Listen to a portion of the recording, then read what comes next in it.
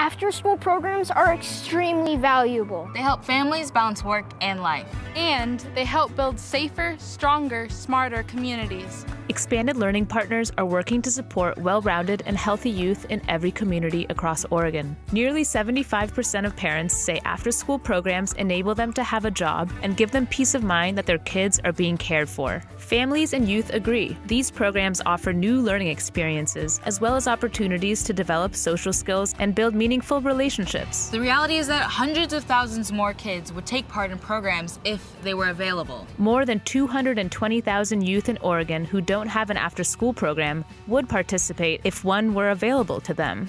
Now is the time to work together to provide more equitable learning opportunities for all youth in Oregon. Find out how you can act now to support after school. Go to oregonask.org/advocacy.